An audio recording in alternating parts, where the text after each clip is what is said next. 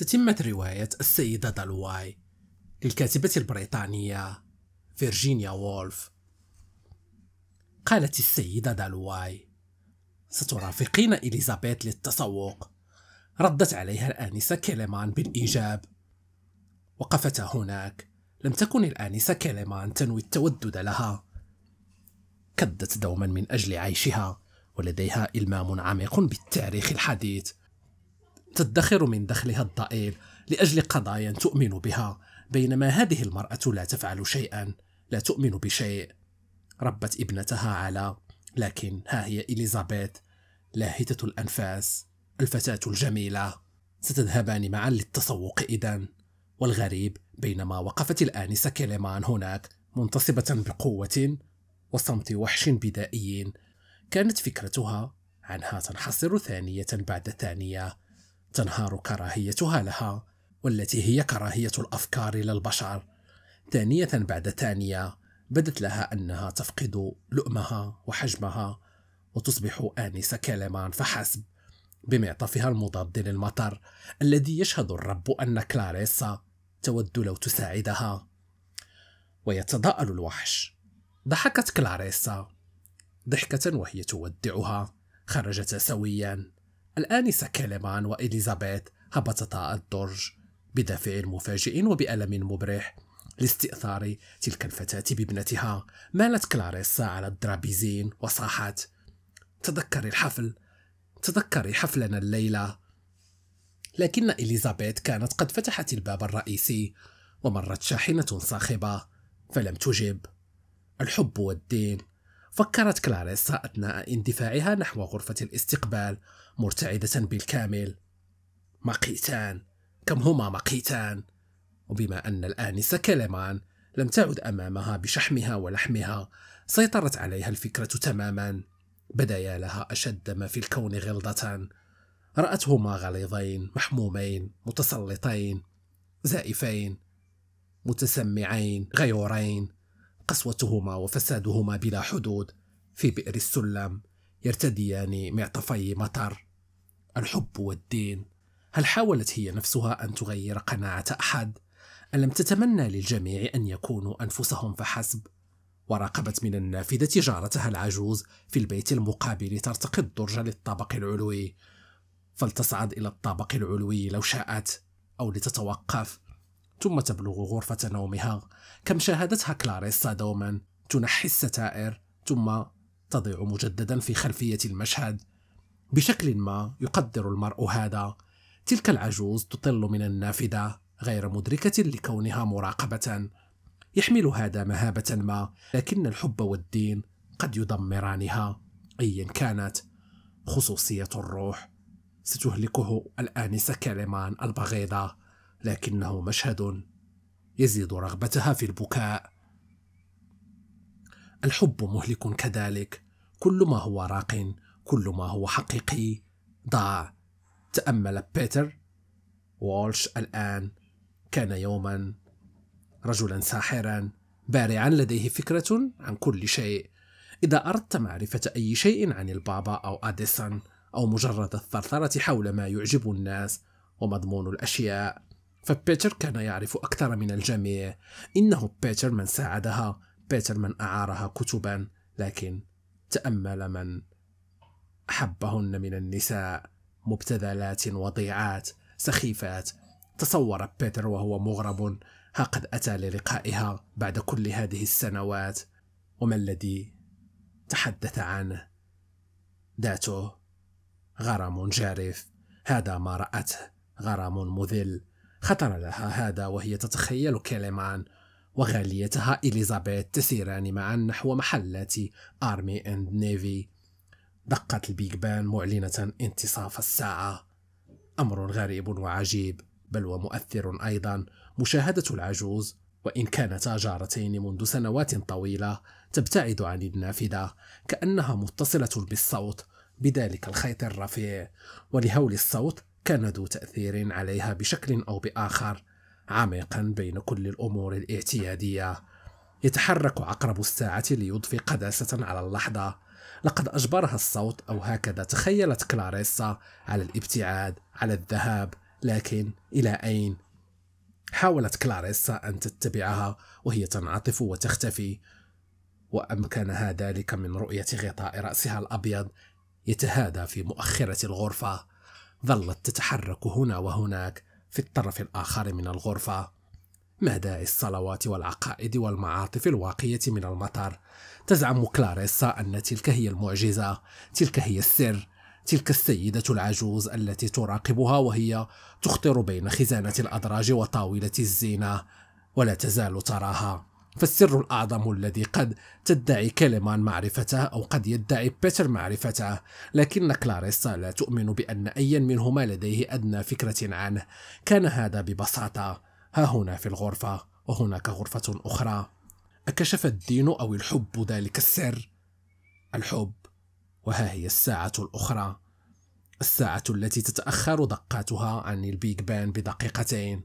أتت متثاقلة وحجرها مليء بالمنمنمات التافهة وأسقطتها معتذرة كأن البيج بان تتماشى تماما مع إرادة صاحب الجلالة وهو يضع القانون بكل جلال بكل عدالة. لكن لا بد لها أن تتذكر صغائر الأمور من كل شكل علاوة على ذلك. السيدة مارشام إيلي هندرسون أكواب للمثلجات. هاجمتها الصغائر من كل شكل ولون تغمرها تطويها وتراقصها مع تلك الدقة المهيبة التي اختبأت كسبيكة ذهب في قاع البحر.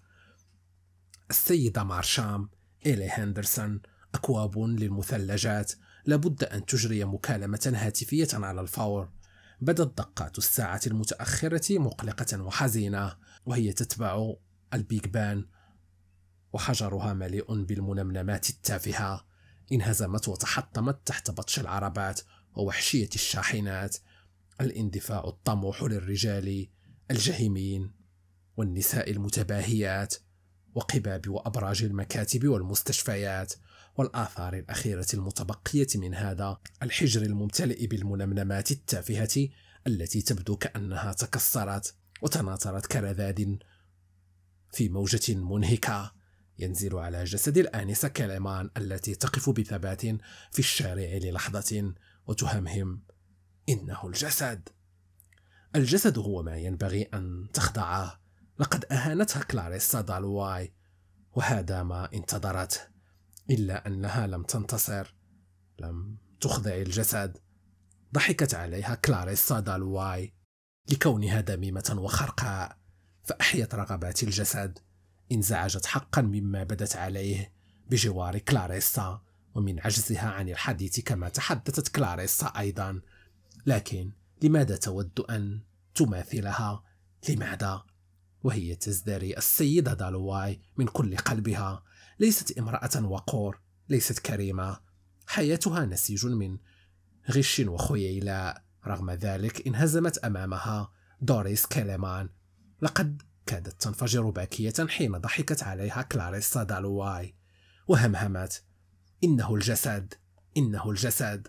من عاداتها أن تكلم نفسها بصوت عال لتغالب شعورها الهائج الموجع بينما تقطع شارع فيكتوريا سيرا. تضرعت للرب لا حيلة لها في دمامتها ولا يمكنها تحمل شراء ثياب فاتنة. لقد سخرت منها كلاريسا دالواي. ستوجه تفكيرها إلى أمر آخر حتى تبلغ صندوق البريد. على أي حال لديها إليزابيث لكنها ستنشغل بشيء آخر. ستنشغل بروسيا حتى تبلغ صندوق البريد. أظنها لطيفة حياة الريف. قالتها وهي تغالب. كما أخبرها السيد ويتيكر الحقد الصارخ على العالم الذي سخر منها. هزأ بها ولفظها بدءا بهذه الإهانة.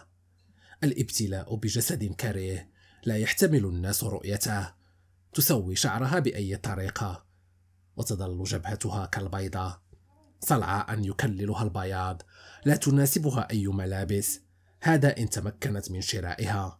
هذا طبعا بالنسبة لامرأة يعني انعزالا تاما عن الجنس الآخر. لم تكن تمثل أولوية لأحد. تكاد ترى أنها في الآونة الأخيرة فيما عدا إليزابيث تعيش لطعامها سبل راحتها عشائها شايها وقربة الماء الساخن مساء. على المرء أن يناضل أن يحتفظ بإيمانه بالرب. لقد أخبرها السيد ويتيكر أنها موجودة لسبب لكن لا أحد يعرف سبب آلامه. ثم أضاف وهو يشير إلى الصليب. الرب يعلم لكن لماذا تتألم هي بينما تفلت الأخريات ككلاريسا دالواي؟ قال السيد ويتيكر أن المعرفة تأتي من خلال المعاناة. فوتت صندوق البريد. بينما انعطفت إليزابيث نحو قسم التبغ البني المنعش في, Army and Navy. وهي ما زالت تهمهم لنفسها ما ردده السيد ويتيكر بأن المعرفة تأتي من خلال المعاناة والجسد. همهمت الجسد قطعت إليزابيث أفكارها وسألتها أي قسم ستقصد؟ قالت فجأة التنانير التحتية. ثم مالت نحو المصعد مباشرة. اتجهتا للطابق العلوي. أرشدتها إليزابيث عبر هذا الاتجاه وذاك. تبعت إرشاداتها وهي شاردة كطفلة كبيرة بارجة ثقيلة. ها هي التنانير التحتية بنية محتشمة مقلمة خفيفة صلبة رقيقة. اختارت وهي شاردة اختيارا عجيبا. حسبتها البائعة مجنونة. تعجبت إليزابيث أيضا أثناء تغليفهم. للحزمة متسائلة عما كان وعما كانت يدور في خلد الآنسة كليمان. ذكرت الآنسة كليمان وهي تفيق من شرودها. ضرورة أن يذهبا لشرب الشاي. فذهبتا لشرب الشاي. سألت إليزابيث نفسها هل الآنسة كليمان تشعر بالجوع؟ هكذا كانت تأكل تأكل بحماسة وتتطلع مرارا إلى صحن الكعكات المغطاة بالسكر على المائدة المجاورة لهما. حينها وعندما جلست سيدة وطفل وسحب الطفل الكعك هل رغبت فيها الآنسة كليمان؟ نعم رغبت فيها الآنسة كليمان. أرادت تلك الكعكة الوردية تحديدا. متعة الأكل تكاد تكون هي المتعة الوحيدة الصافية التي بقيت لها وها هي تحرم منها أيضا. أخبرت إليزابيث أن السعداء من الناس لديهم ملاذ يتكئون عليه بينما هي كعجلة دون إطار إنها مولعة بتشبيهات كهذه. تنزعج من أصغر حصات هذا ما قالت. وقد بقيت قليلا بعد الدرس أثناء وقوفها بجوار المدفأة تحمل حقيبة كتبها.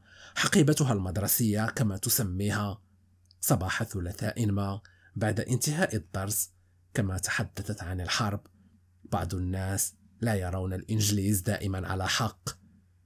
توجد كتب وتنعقد لقاءات. تظهر وجهات نظر مغايرة. وسألت إليزابيث إن كانت تود الذهاب معها لفلان العجوز الأكثر غرابة ثم أخذتها الآنسة كليمان لكنيسة في كينغستون لتناول الشاي مع الكاهن. أعارتها كتبا في القانون في الطب والسياسة. قالت لها أن كل التخصصات متاحة للنساء من جيلك أما هي فقد دمر مستقبلها المهني. وهل كان هذا ذنبها؟ أجابتها إليزابيث. لا قطعا. ثم تأتي أمها لتخبرها أن سلة قد وصلت من بورتون وتتساءل هل ترغب الآنسة كليمان في بعض الزهور؟ إن معاملتها للآنسة كليمان بالغة اللطف دائما لكن الآنسة كليمان قدست الزهور كلها في حزمة واحدة. ليس لديها مساحة للتفاهات. ما تهتم به الآنسة كليمان يجر أمها. فإذا اجتمعتا معا هي والآنسة كليمان يكون الوضع كارثيا. تتباهى الآنسة كليمان وتبدو مكشوفة. إلا أن ذكاء الآنسة كليمان يكون مروعا. لم تنشغل إليزابيث بالفقر يوما فهم ينعمون بكل ما يمكن أن يرغبوا به. تتناول أمها الإفطار في السرير كل يوم. تحضره لها لوسي في الطابق العلوي. تعجبها العجائز لكونهن ذوقات لكن الآنسة كليمان قالت صباح أحد أيام الثلاثاء بعد انتهاء الدرس. امتلك جدي متجر زيوت ودهون في كينغستون الآنسة كليمان تشعر المرأة بدونيته. تناولت الآنسة كليمان كوب شاي آخر.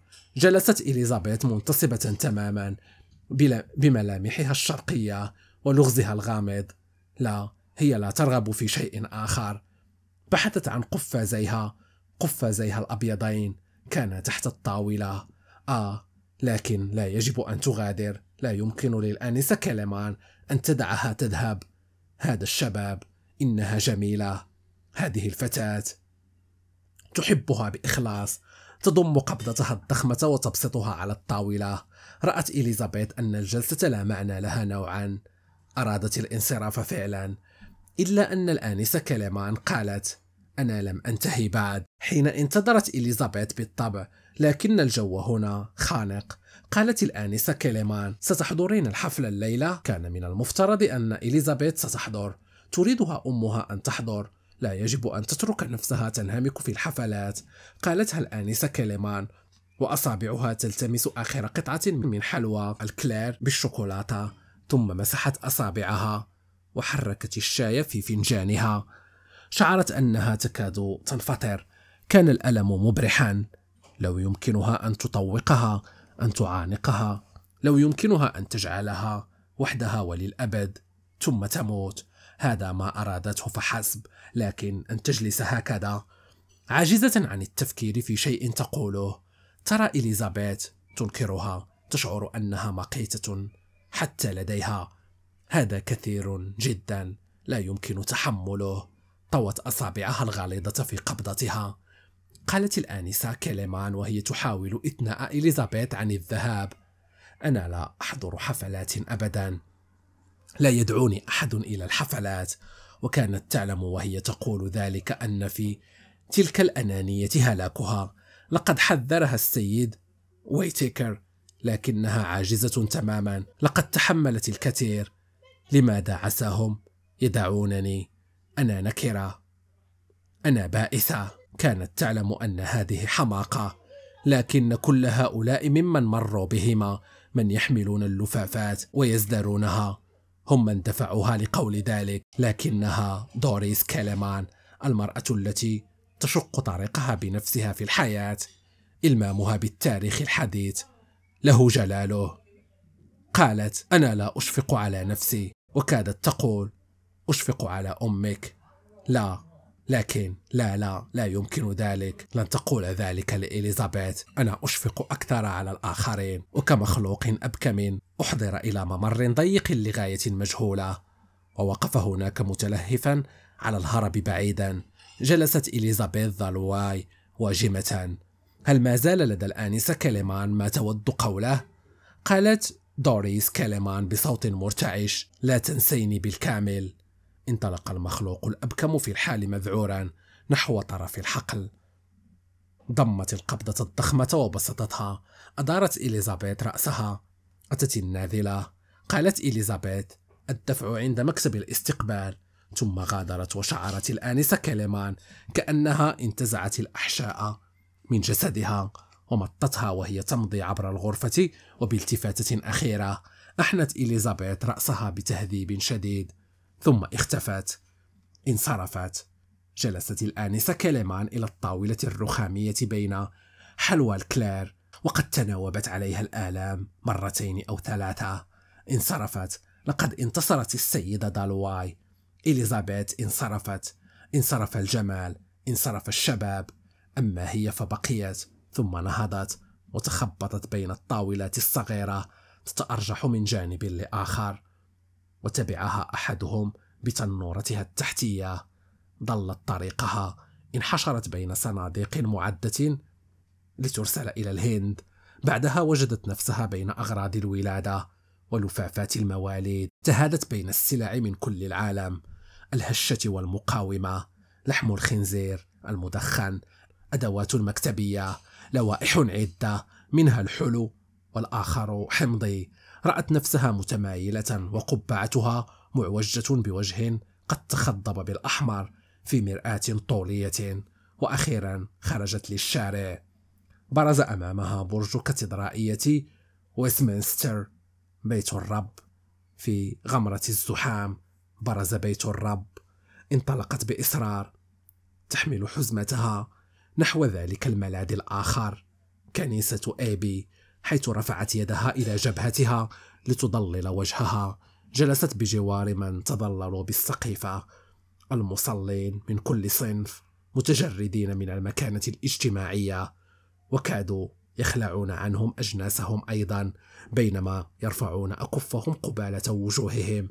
وحين ينزلونها يبدون كرجال ونساء إنجليز أبرار من الطبقة المتوسطة يتلهف بعضهم على مشاهدة تماثيل الشمع. لكن الآنسة كليمان أبقت ظلة يدها على وجهها. هكذا تحيا منبوذة تارة مقبولة تارة. أتى مصلون جدد من أحد الضروب ليحلوا محل المتشردين. رغم ذلك وبينما يلتفت الناس من حولهم ويسيرون مثقلين نحو ضريح الجندي المجهول كانت تغطي عينيها بأصابعها وتحاول في هذه الظلمة المضاعفة فالضوء في آبي كان خافتا. أن تطهر نفسها من الحقد والحب معا. انتفضت يداها كأنها تناضل بينما الرب قريب للآخرين. ودربه ممهد. السيد فليتشر الموظف المتقاعد من وزارة المالية. والسيدة غورهام أرملة مستشار العرش الشهير. يتقربان إليه بيسر وبعد أن انتهيا من صلاتهما اعتدلا في جلستيهما ليستمتعا بالموسيقى بنغمات الأرغون البديعة. شاهد الآنسة كليمان في آخر الصف تصلي وتتضرع ولأنهما واقفان عند عتبة عالميهما الروحي فقد أشفق عليها وحسبها روحا مترددة في المنطقة ذاتها. روح جثث من جوهر لا مادي ليست امرأة بل روحا. توجب على السيد فليتشر أن يغادر. توجب عليه أن يمر بها. ولحداثة ورعه عجز عن إخفاء أساه. لحال تلك المرأة البائسة شعرها المنسدل حزمتها بجوارها على الأرض لم تتح له المرور في الحال. وبينما وقف يدور ببصره من حوله متأملا الرخام الأبيض الزجاج الرمادي للنوافذ الكنوز المتراكمة. فهو معتز للغاية بآبي أثرت فيه تلك المرأة بضخامتها وصلابتها في جلوسها هناك. تناوب الركوع على ركبتيها من حين لآخر طريقها لربها وعرة رغباتها قاسية كما أثرت في السيدة دالواي التي لم تسقط صورتها من ذهنها ظهر اليوم وأثرت في القس إدوارد ويتيكر وإليزابيث أيضا. انتظرت إليزابيث وصول حافلة عامة في شارع فيكتوريا. كان البقاء في الخارج بديعا. رأت عدم ضرورة عودتها إلى المنزل في الحال. كان الباقي في الهواء الطلق بديعا. ستستقل الحافلة إذا بوقوفها هناك. بدأ الأمر رغم ملابسها الأنيقة. بدأ الناس يشبهونها بشجر الحور الزنابق. الظباء الماء المترقرق. وسواسن البساتين. هذا جعل حياتها تثقلها فهي كانت تفضل البقاء وحيدة تفعل ما يحلو لها في الريف لكنهم سيشبهونها بالسواسن ويلزمونها بحضور الحفلات. ولندن موحشة جدا مقارنة بالبقاء في الريف مع أبيها والكلاب. تأتي الحافلات تهدأ ثم تنطلق. كرفانات بعيدة عن أي ذوق تتألق بطلائها الأحمر والأصفر. ستستقل أيا منها. لم يكن لديها أي تفضيلات بالطبع. لم تكن لتزاحم لتميل إلى البلادة. لا تجيد التعبير لكن عينيها كانتا رائعتين صينيتين شرقيتين.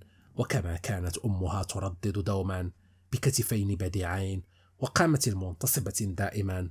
كانت ساحرة لكل من يراها ومؤخرا خاصة في الليل حين تكون مهتمة وهي التي لا تبدي حماسة أبدا.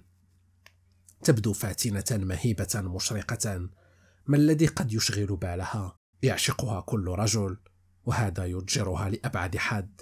هكذا بدأ الأمر كله. يمكن لأمها رؤية ذلك. بدأت المجاملات والتملق. أما هي فلا تعبأ بذلك كثيرا. بملابسها مثلا وهذا يثير قلق كلاريسا أحيانا. لكنها ترى أن هذا أفضل من بقائها مع الجراء وخنازير غينيا المحمومة وهو يضفي عليها سحرا خاصا. ثم أتت صداقتها المريبة مع الآنسة كيليمان كل هذا كان قد خطر لكلاريسا وهي مؤرقة في الثالثة فجرا أثناء قراءتها لمذكرات البارون ماربوت. هذا يثبت أن لديها قلبا. فجأة تقدمت إليزابيث واستقلت الحافلة ببراعة أمام الجميع واتخذت مقعدها في الطابق العلوي. تقدم المخلوق الطائش كقرصان ثم انطلق في طريقه. كان لابد أن تقبض على الحاجز لتثبت في مكانها فهو قرصان طائش عديم الضمير يندفع بلا هوادة ينعطف على نحو خطير يختطف راكبا بصفاقة. ويتجاهل راكبا يندس كالإنقليس متغطرسا ثم يندفع بوقاحة وبأقصى سرعة منطلقا في وايت هول وهل خطر لإليزابيث فكرة واحدة تخص الآنسة كليمان التي عشقها دون ما غيره والتي تراها كظبي حر وقمر بين أشجار الغاب؟ إنها مستمتعة بحريتها. الهواء منعش وطيب. لقد كان الجو خانقا في محلات Army and Navy. والآن كأنها كأنها تركب الخيل متجهة نحو وايت هول ومع كل حركة للحافلة يرتد الجسد الفاتن في المعطف البندقي كحركة فارس كالوجه المنحوت عند مقدمة السفينة. تمنح الحرارة خديها شحوبا كالخشب المطلي بالأبيض وعيناها البديعتان. حدقتا في الأفق شاغرتان مشرقتان. بالتحديق الساذج في المنحوتات. ولحديثهم الدائم عن معاناتها فإن الآنسة كليمان شخصية معقدة. وهل كانت على حق لو أن الأمر يتعلق باللجان وبدل الساعات والساعات كل يوم؟ فهي بالكاد تراه في لندن لمساعدة البؤساء. فإن والدها يفعل ذلك والرب يعلم. إذا كان ذلك ما قصدته الآنسة كليمان بمسيحية المرء. لكن يصعب عليها الجزم. أوه ودت لو تبتعد أكثر قليلا بالحافلة. بنس آخر لحي ستراند. ها هو البنس إذن. ثم قصدت ستراند. كانت تحب المرضى والآنسة كليمان قالت كل التخصصات متاحة للنساء من جيلك إذن. قد تصير طبيبة. قد تصير مزارعة. الحيوانات مريضة غالبا. قد تمتلك ألف فدان فيعمل أناس تحت إدارتها. ستزورهم في أكواخهم. ها هو سوميريست هاوس. قد يصير المرء مزارعا ماهرا. كل هذه الأفكار في الغالب بسبب سوميريست هاوس. بدا المبنى الرمادي بديعا مهيبا وعظيما. تحب ما يشعر به الناس أثناء عملهم. تحب الكنائس. كأنها أشكال قدت من ورق رمادي تتصدر جانبي ستراند. قالت لنفسها أن المكان هنا مختلف تماما عن ويستمنستر فهي تنزل من الحافلة عند جادة تشانسيري. كان مهيبا ومزدحما للغاية. باختصار أرادت أن يكون لها مهنة أن تصير طبيبة مزارعة أو ربما عضوا في مجلس العموم. لو لزم الأمر ذلك كل هذا بسبب ستراند. إن أقدام هؤلاء الناس تسعى فيما يشغلهم وأيديهم. تنبت حجرا على حجر ولم تنشغل أذهانهم منذ الأزل بثرثرات لا فائدة منها.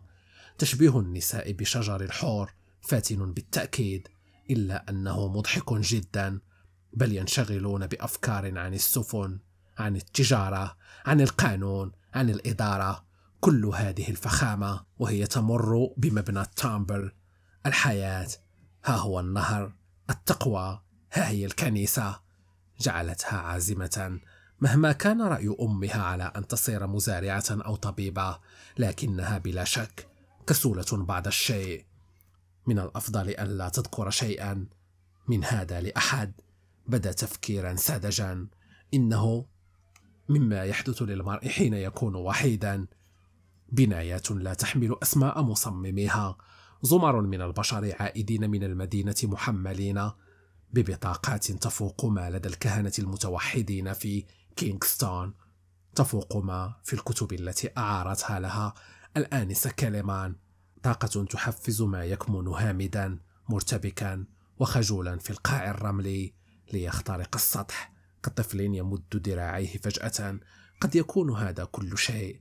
لهفة مدة ذراعين دافع ما كشف يدوم أثره للأبد ثم يرجع من جديد للقاع الرملي لا بد أن تعود إلى المنزل لا بد أن تتجهز وترتدي ملابسها للعشاء لكن كم الساعة؟ ألا توجد ساعة في الجوار؟ تأملت شارعة فلات تقدمت على استحياء نحو كنيسة سان بول كمن تتسلل على أطراف أصابع قدمها تستكشف بيتا غريبا في الليلة حاملة شمعة. تخشى أن يفتح صاحب البيت باب غرفة نومها ويسألها عما تريد. جرأتها على التجول في أزقة مريبة أو شوارع خلفية مظلمة. لا تفوق جرأتها على دخول بيت غريب. تفتح أبواب غرفته التي قد يكون وراءها غرفة نوم أو غرفة جلوس أو تقودها مباشرة نحو غرفة التخزين. فآل دالواي لا يمرون أبدا في شارع ستراند كل يوم. إنها رائدة طائشة مجازفة واثقة. تراها أمها خرقاء في جوانب عدة. لم تزل طفلة تتعلق بالدمى بنعل بال طفلة مثالية. وهذا ساحر إلا أن لآل دالواي موروث من العمل العام. رئيسات أديرة راهبات مديرات مدارس. كبيرات مدرسات وجيهات في دولة النساء دون أن تتسم أي منهن بذكاء خارق. كلهن كذلك. تقدمت قليلا نحو كنيسة سان بول. يعجبها ما في هذا الضجيج من أنس أمومة إيخاء. بدا لها أنه ممتعا كان الدوي هائلا. انطلق فجأة النفير بوقي العاطلون. صاخب وبارز بين الضجيج موسيقى عسكرية كأن الناس يتظاهرون. مع ذلك لو أنهم يموتون لو أن إحدى النساء تلفظ آخر أنفاسها فيفتح الذي يراها أيا من كان.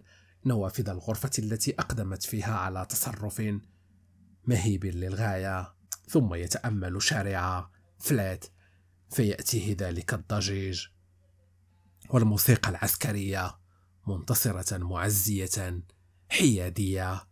لم يكن ذلك مما يدركه الوعي لم يكن فيه إدراك لقضاء المرء أو قدره. ولهذا السبب تحديدا كان معزيا. حث الذاهلون لمشاهدة آخر انتفاضات الوعي على وجوه الموتى. قد تكون غفلة الناس مؤذية. جحودهم مهلك لكن هذا الصوت العاصف بلا حدود. عاما بعد عام يأخذ في طريقه كل شيء.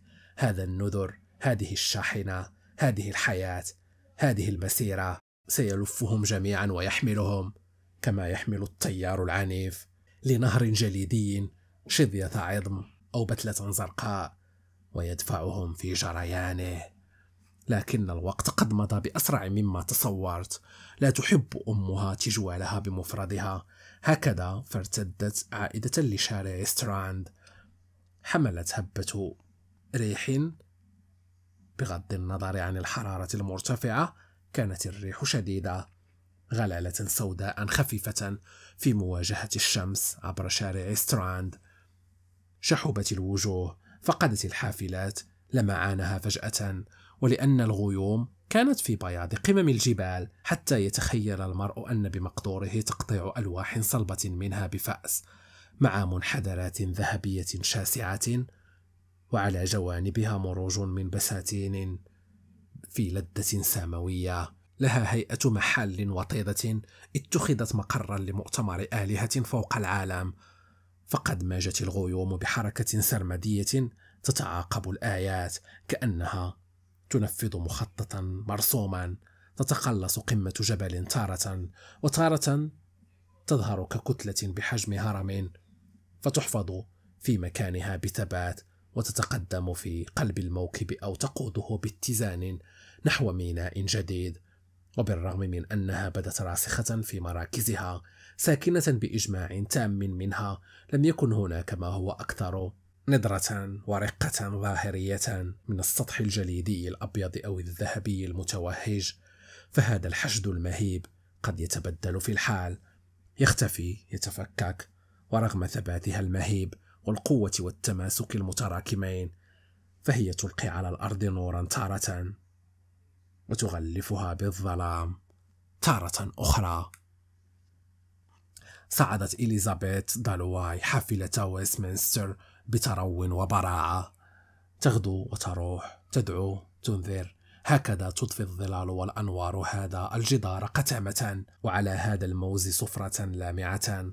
وعلى شارع ستراند قتامة وعلى الحافلات صفرة لامعة كما يراها سيبتيموس ووارين سميث المستلقي على الأريكة في غرفة الجلوس يتأمل خيوط الذهب السائلة تتوهج وتخبو بحساسية مذهلة كأنها لكائن حي على الأزهار أو على ورق الحائط في الخارج. أحكمت الأشجار تشابك أوراقها كشراك في الجو غمر خرير الماء الغرفة ومن بين الأمواج تصاعدت أصوات شدو الطيور. صبت جميع القوى كنوزها على رأسه وهو باسطا كفه على ظهر الأريكة. كما كان يشاهد كفه تنبسط وهو يسبح ويطفو فوق الأمواج بينما يسمع كلابا تنبح وتنبح بعيدا عن الشاطئ. لا خوف بعد الآن قال القلب للجسد لا خوف بعد الآن ليس خائفا. كل لحظة تأتي الطبيعة بإشارة مضحكة كتلك البقعة الذهبية التي تتراقص على الجدار. هناك هناك هناك لتصميمها على الظهور بالتباهي بريشاتها ونفض خصلات شعرها وطرح خجلها. هكذا وهكذا بديعة دائما بديعة تنتظر هناك وتتأمل من بين أصابع يدها المنفرجة في كلمات شكسبير بتصويرها الخاص. كانت ريتيسيا تتأمله وهي جالسة إلى الطاولة تلوي قبعة بين يديها. رأته يبتسم. إنه سعيد إذا لكنها لا تحتمل رؤيته يبتسم. لم يكن زواجا ولا كون المرء زوجا وهو ما يجعله يبدو بهذه الغرابة. دائما متأهب. يضحك. يجلس واجما ساعة بعد ساعة. يقبض عليها ويأمرها أن تكتب. درج المكتب مليء بهذه الكتابات. عن الحرب عن شكسبير عن اكتشافات هائلة عن غياب الموت تماما مؤخرا. إذ صار يبالغ في الانفعال دون ما سبب. الدكتور هولمز والسير برادشو أكد أن الانفعال أسوأ ما يؤثر على حالته. كان يلوح بيده في الهواء صائحا بأنه يملك الحقيقة أنه يعرف كل شيء وذكر أن ذلك الرجل صديقه الذي قتل إيفانز يأتيه دوما يغني من وراء الستارة. دونت ذلك فورا حين قال بعض ما يقوله بديع والبعض مجرد هذيان دائما ما يتوقف أثناء الكلام ويغير رأيه. يرغب في إضافة ما يسمع شيئا من جديد. ينصت رافعا يديه عاليا. أما هي فلا تسمع شيئا. يوما ضبط الفتاة التي ترتب الغرفة أثناء قراءة ورقة من هذه وكانت غارقة في الضحك. موقف مؤسف بصورة مريعة. دفع سيبتيموس للصراخ وهو يتكلم عن وحشية البشر وكيف يمزق بعضهم بعضا. من يزل يمزقونه إربا يجهز علينا. كان يبتدئ حكايات عن هولمز. هولمز يأكل العصيدة. هولمز يقرأ شكسبير. كل هذا وهو ينفجر بضحك أو غضب كأنه يرى الدكتور هولمز كائنا مريعا. كان يدعوه الطبيعة البشرية. ثم تناوبت عليه الرؤى. كان يكرر أنه غريق مطروح على جرف صخري والنوارس تتصايح فوقه. كان ينظر إلى البحر من فوق حاشية الأريكة. ينصت إلى موسيقى ما مجرد أرجون أسطواني في الواقع. أو صوت أحدهم يصرخ في الشارع إلا أنه كان يصيح بشكل بديع ودموعه تسيل على خديه. مفزعا أن ترى رجلا كسبتيموس خاض حربا ببسالة يبكي هكذا. كان يستلقي طويلا منصتا قبل أن يصرخ فجأة قائلا أنه يهوى عميقا بين ألسنة اللهب. كانت تبحث عن اللهب بالفعل فصراخه يوحي بواقعية ما يقول لكنها أبدا لم تجد شيئا كان وحدهما في الغرفة. تخبره أنه حلم فيهدأ أخيرا لكنها أحيانا ترتعب أيضا. تنهدت وهي جالسة منشغلة بالحياكة. تنهداتها حنونة وفاتنة. كريح ليلية على أطراف غابة. تترك مقصها ثم تستدير لتلتقط شيئا من على الطاولة. حركة طفيفة خشخشة طفيفة نقرة خفيفة وهي تشكل شيئا ما على الطاولة حيث جلست تحيك يمكنه رؤيتها من خلال رموشه. هيكلا غائما جسدها قاتم ضئيل ووجهها ويديها وحركتها حول الطاولة وهي تلتقط وهي تلتقط كرة تبحث عن خيط فهي تضيع الأشياء دائما. إنها تصنع قبعة لابنة السيدة فيلمر المتزوجة من تدعى لقد نسي اسمها ما اسم الإبنة المتزوجة للسيدة فيلمر قالت ريتيسيا السيدة بيترز. وذكرت أنها تخشى صغر مقاس القبعة وهي تقبض عليها بيدها. السيدة بيترز ضخمة البنية وهي لا تحبها. إنها تفعل ذلك فقط إكراما لعطف السيدة. فيلمر عليها. أعطتني عنبا هذا الصباح وأرادت أن تفعل شيئا يعبر عن امتنانهما. لقد دخلت الغرفة يوما فرأت السيدة بيترز التي اعتقدت أنهما في الخارج تشغل الجرامافون. سأل حقا؟ كانت تشغل الجرامافون. أخبرته عن ذلك في حينه أنها رأت السيدة بيترز تشغل الجرامافون. بدأ يفتح عينيه محاذرا ليرى إذا كان الجرامافون موجودا فعلا. لكن الملموسات الملموسات ساحرة لابد أن يتوخى الحذر لن يفقد عقله. تأمل أولا مجلات الموضة على الرف السفلي صاعدا نحو الجرامافون ببوقه الأخضر. لا شيء أشد إتقانا. نظر مستجمعا شجاعته إلى النضد الجانبي. صحن الموز نقوشات صورة الملكة فيكتوريا وزوجها الأمير إلى رف المدفأة وعليه جفنة زهور. لم تزحزح أي منها. كانت ثابتة جميعا ولكنها ملموسة قالت ريتيسيا. ثم أنها ذات لسان خبيث. سأل سيبتيموس وما هو عمل السيد بيترز؟ تنهدت ريتيسيا وهي تحاول التذكر. خطر لها أن السيدة فيليمر قد أخبرتها أنه سافر لأعمال شركة ما. قالت حاليا هو في مدينة هال. قالت حاليا بلكنتها الإهطالية قالت ها هي غطى عينيه حتى لا يرى إلا القليل من وجهها في كل نظرة. الذقن أولا ثم الأنف ثم الجبهة. تحسبا لأن يكون قد تشوه أو به ندبة مريعة ما لكن لا كانت تجلس هناك طبيعية تماما تحيك بشفتين مزمومتين وقسمات مغتمة كهيئة النساء وهن يحكن لكنه أكد لنفسه عدم وجود ما هو مزعج في وجهها. أعاد النظر مرة ثانية وثالثة لوجهها ليديها باحثا فيها عما هو مخيف أو منفر وهي جالسة في وضح النهار. تحيك. السيدة بيترز لها لسان خبيث. السيد بيترز حاليا في هول. لما الغضب والتكهن إذا لما يحلق مكرها ومنبوذا؟ لما تجعله الغيوم يرتعد وينشج بالبكاء؟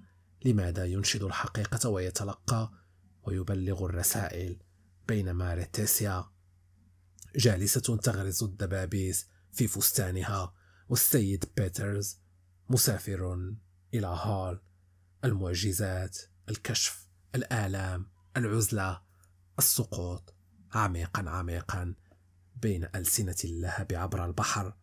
انثثرت كلها لأنه كان واعيا يتأمل ريتيسيا وهي تصنع قبعة الغوص للسيدة بيترز وتكسوها بالورود. قال سيبتيموس إن مقاسها صغير جدا للسيدة بيترز.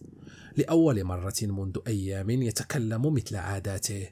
قالت أنها بالطبع صغيرة للغاية لكن السيدة بيترز قد اختارتها بنفسها.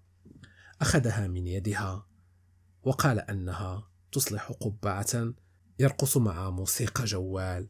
كم ابتهجت لذلك لم يضحكا معا. هكذا منذ أسابيع. أو يتبادلان النكات منفردين كزوجين. ولو دخلت السيدة فيلمر أو السيدة بيترز أو أي أحد عليهما لما عرف ما الذي يضحكان عليه. هي وسيبتيموس. هذه لك قالتها وهي تغرز الورود في طرف القبعة. لم تبتهج هكذا أبدا أبدا طوال حياتها. قال سيبتيموس أنها ما زالت مضحكة. ستظهر المرأة المسكينة كخنزير في السوق. لا أحد يضحكها كما يفعل سيبتيموس. ماذا لديها في صندوق أدواتها؟ لديها شرائط وخرز وزهور صناعية. قلبتها جميعا على الطاولة. بدأ يوفق بين ألوان غريبة فهو إن لم يكن موهوبا في الأعمال اليدوية ولا يمكنه حتى ربط حزمة فنظرته رائعة. حتى ربط حزمة فنظرته رائعة وغالبا ما يكون على حق. سخيف أحيانا بالطبع وأحيانا أخرى يكون محقا بشكل عجيب. ستحظى بقبعة بديعة. أمهم بها وهو يلتقط هذا وذاك ورتاسيا على ركبتيها بجانبه تحدق من وراء كتفيه. قالها وهو يعني التصميم. لتحيكها على ذلك. لكنه طلب منها أن تكون حذرة جدا لكي تحافظ عليها كما صممها. أخذت تحيكها وبينما كانت تحيك حسبها تصدر أصواتا كغلاية على موقد تبقبق تدمدم مشغولة دوما. أصابعها اللوزية الدقيقة الصلبة تلتقط وتغرز تعرف إبرتها مكانها بدقة. قد تأتي الشمس أو تغيب على الشرابات على ورق الحائط لكنها تحدث نفسه بأنه عليه الانتظار مادا قدميه متأملا جوربيه المخططين بحلقات عند طرف الأريكة. عليه الانتظار في هذا المكان الدافئ. هذا الجيب من الهواء الخامد كالذي يمر به المرء عند طرف غابة أول الليل حين يتراجع الدفء بسبب هبوط الأرض. أو تنسيق ما للشجر فلا بد أن يركن المرء للعلم قبل أي شيء فيلطم الهواء الخد بجناح طير. قالت ريتيسيا وهي تدير قبعة السيدة بيترز على أطراف أصابعها. ها هي؟ ستؤدي ستؤدي الغرض.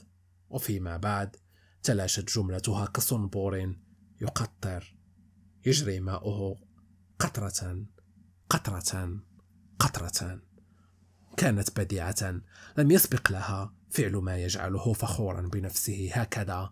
كانت واقعية جدا ومتماسكة. قبعة السيدة بيترز. قال انظري إليها. أجل. سيسعدها النظر لهذه القبعة دوما. لقد عاد كما كان. لقد ضحك. كانا وحيدين معا. ستقع في غرام تلك القبعة طوال حياتها. طلب منها أن تجربها. سأبدو في منتهى الغرابة. صاحت به وهي تركض نحو المرآة لتتأملها من هذا الجانب وذاك. ثم خلعتها سريعا فقد كان أحدهم بالباب.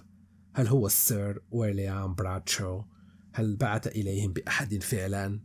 لا إنها فتاة صغيرة تحمل جريدة المساء. ما يحدث دوما ويتكرر حدوثه. ما يحدث كل ليلة من حياتهما معا. تمص الصغيرة إبهامها لدى الباب. تنزل ريتيسيا على ركبتيها. تلاطفها ريتيسيا وتقبلها. تخرج ريتيسيا كيس حلوى من درج الطاولة. هذا ما يحدث دوما. شيئا فشيء. هذا ما تؤسسه. شيئا فشيء. تندمجان في الرقص والتقافز في انحناء الغرفة. وهو كان يأخذ الجريدة. قرأ عليهما. سري يبذل قصارى جهده ثمة موجة حارة كررت ريتيسيا. سري يبذل قصارى جهده ثمة موجة حارة. كررته كجزء من لعبتها مع حفيدة السيدة فيلمر تضحكان وتثرثران في الوقت نفسه في لعبتيهما. إنه مرهق جدا. إنه سعيد جدا. أغمض عينيه بعدما لم يمر شيئا. أغمض عينيه بعدما لم يرى شيئا. خفتت أصوات اللعبة وصارت أشد غرابة. بدت كأنها صيحة لأناس يفتشون ثم لا يجدون شيئا فيمضون بعيدا بعيدا. لقد فقدوه تأمل مرتعبا. ماذا كان يرى؟ صحن الموز على النضد الجانبي. لا أحد هنا. أخذت ريتيسيا الطفلة إلى أمها. تلك هي المسألة إذن. سيظل وحيدا للأبد. هذا هو الحكم الذي أعلن في ميلانو.